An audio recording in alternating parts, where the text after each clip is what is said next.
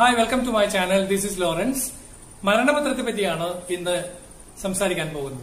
വിൽപത്രം അല്ലെങ്കിൽ മരണപത്രം എന്ന് പറയുന്നത് എപ്പോൾ എഴുതി വയ്ക്കാം എങ്ങനെ എഴുതി വയ്ക്കാം എഴുതി വെച്ചതിന് ശേഷം അവകാശികൾക്ക് വസ്തു എങ്ങനെ ലഭിക്കുന്നു ഈ മൂന്ന് കാര്യങ്ങൾ ഉൾപ്പെടുത്തിക്കൊണ്ടാണ് ഈ വീഡിയോ തയ്യാറാക്കിയിരിക്കുന്നത്.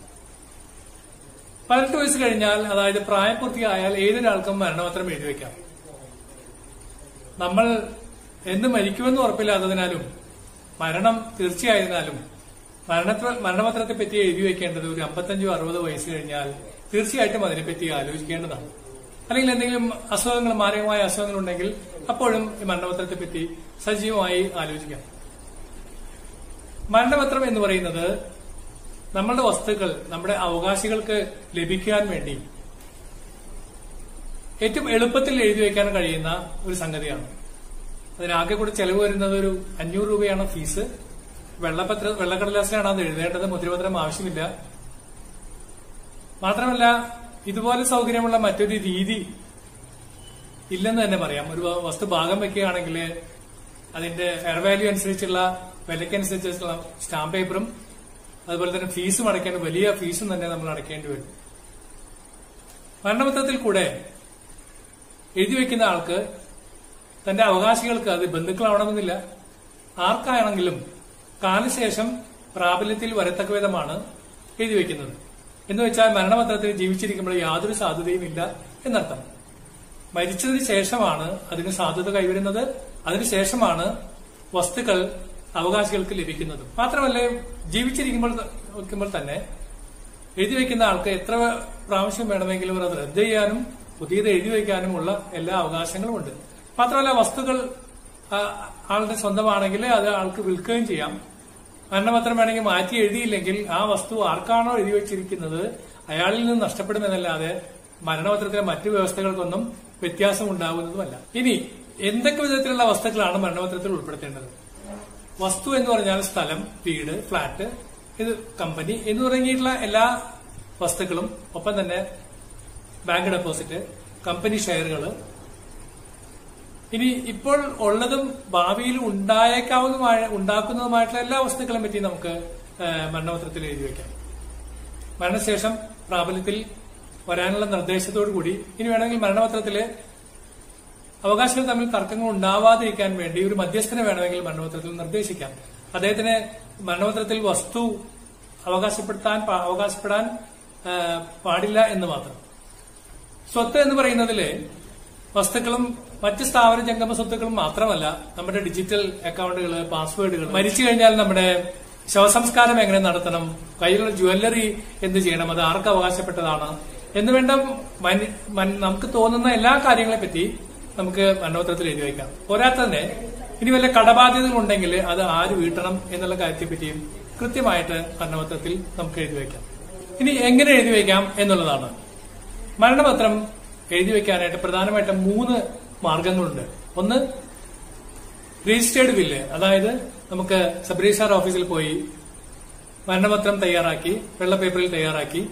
ഒന്നെങ്കിൽ നമുക്ക് തയ്യാറാക്കാൻ സ്വന്തമായിട്ട് തയ്യാറാക്കാൻ പറ്റുന്നില്ല എങ്കിൽ ഒരു ആധാർ എഴുത്തുകാരനെ കൊണ്ട് തയ്യാറാക്കിച്ച് സബ് രജിസ്ട്രാർ ഓഫീസിൽ പോയി അഞ്ഞൂറ് രൂപ ഫീസ് അടച്ച് മരണപത്രം രജിസ്റ്റർ ചെയ്യാം. അതിനകത്ത് രണ്ട് കണ്ടീഷനേ ഉള്ളൂ. ഒന്ന് എഴുതി വെക്കുന്ന ആൾക്ക് സുബോധം ഉണ്ടായിരിക്കണം. താൻ ചെയ്യാൻ പോകുന്ന കർമ്മത്തെപ്പറ്റി അയാൾക്ക് നല്ല ബോധ്യമുണ്ടായിരിക്കണം. നന്നായി വായിച്ച് മനസ്സിലാക്കിയിട്ട് വേണം അയാൾ അതിനകത്ത് ഒപ്പിടാൻ. പോരാത്തതിന് രണ്ട് സാക്ഷികളും അത് ഉണ്ടായിരിക്കണം. കൂടെ അവരെ പേരെഴുതി ഒപ്പിടാം. ഇത്രയും ചെയ്തു കഴിഞ്ഞാൽ മരണപത്രം രജിസ്ട്രാർ ഓഫീസിൽ രജിസ്റ്റർ ചെയ്യുന്ന രജിസ്റ്റർ ചെയ്യുക. അവിടെയുള്ള കുറച്ച് ഫോർമാലിറ്റീസ് ഉണ്ട്. അത് കഴിഞ്ഞാൽ ആ പ്രോസസ്സ് അവസാനിക്കും.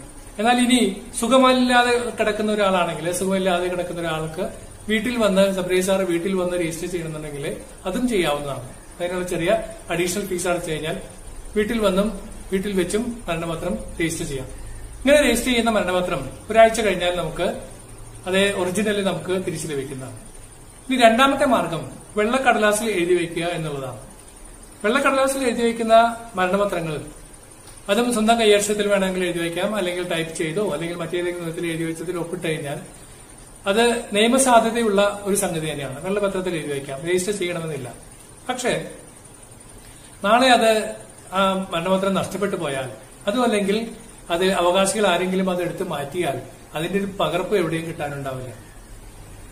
മാത്രമല്ല ഇങ്ങനെ ഇങ്ങനെ എഴുതി വയ്ക്കുന്ന മരണപത്രങ്ങൾ മരിച്ചതിന് ശേഷം അതിന് നമ്മൾ എന്തെങ്കിലും ആവശ്യത്തിന് ഈ മരണപത്രം ഉപയോഗിക്കുമ്പോൾ ബാങ്കിലോ അല്ലെങ്കിൽ മറ്റ് സ്ഥലങ്ങളിലോ ചെല്ലുമ്പോൾ അത് അത്ര കണ്ട് സ്വീകാര്യമാവണമെന്ന് ഇല്ല.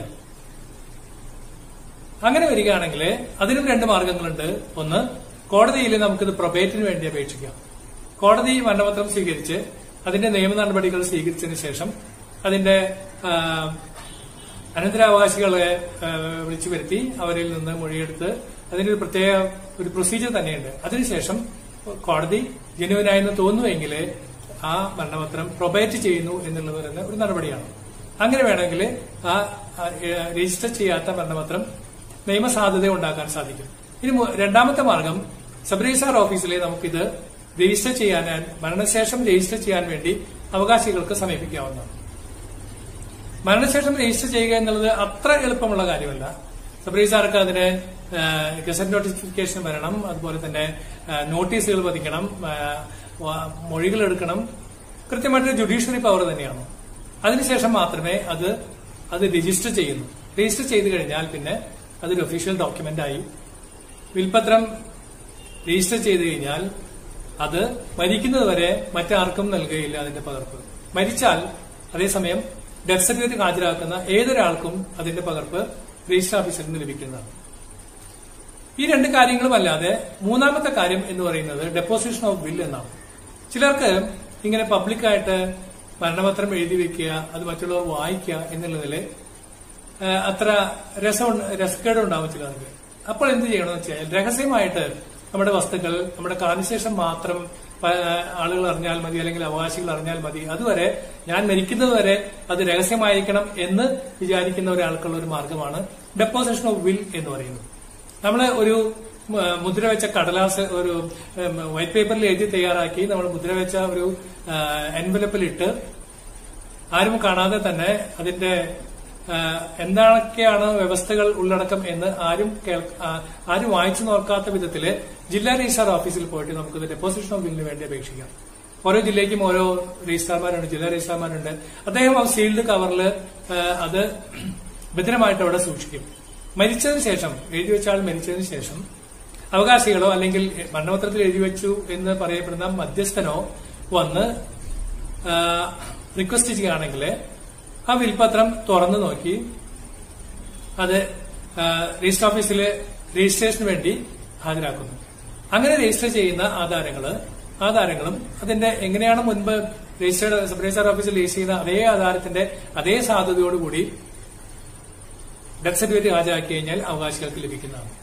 ഈ മൂന്ന് വിധത്തിലേക്കാണ് മരണപത്രം അവകാശികൾ എഴുതി വെക്കേണ്ട രീതി. വളരെ സത്യത്തിൽ മരണപത്രത്തിൽ കൂടെ വളരെ വലിയ ചിലവ് നമുക്ക് ലാഭിക്കാൻ സാധിക്കും. എഴുതി വെക്കുന്ന ആൾ മരിച്ചു കഴിഞ്ഞാൽ അവകാശികൾ പലപ്പോഴും പല സ്ഥലത്തായിരിക്കും. അല്ലെങ്കിൽ അവർക്ക് വന്ന് ഒപ്പിടാനായിട്ടുള്ള ബുദ്ധിമുട്ടുണ്ടാവും. ഇതൊക്കെ ഒഴിവാക്കാനായിട്ട് ഏറ്റവും നല്ലത് ഒരു രേഖ എഴുതി വയ്ക്കുന്നത് തന്നെയാണ്. ആവശ്യമില്ലാത്ത അനാവശ്യമായിട്ടുള്ള വഴക്കുകളും ഒഴിവാക്കാൻ സാധിക്കും. ചെലവും കുറവാണ്. അവസാനത്തെ ഒരു നടപടിക്രമമുണ്ട്. ഏതൊക്കെ വിധത്തിൽ മരണപത്രം എഴുതി വെച്ചാലും ശരി. മരണപത്രത്തിന് എഴുതി വെച്ച ആൾ എഴുതി വെച്ച ആൾ മരിച്ചതിന് ശേഷം എങ്ങനെയാണ് വസ്തു ലഭിക്കുന്നതെന്ന് നോക്കാം.